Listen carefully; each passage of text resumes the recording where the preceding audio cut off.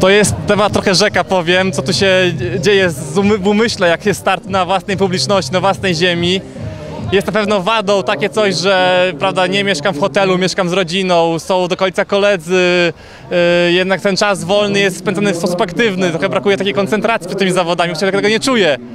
A za plus na pewno przemawia to, że jak już się wychodzi na trybuny i słyszy się doping przy, przy własnym nazwisku, yy, te trybuny, które krzyczą, prawda, które, które dopingują ci, to to jest po prostu wspaniałe uczucie. Czułem się trochę ciężko jeszcze, jednak jeszcze czuję w nogach te obozy, które mam. To nie jest ta optymalna świeżość, którą, którą, którą oczekujemy, że będzie, jak będzie start w Londynie.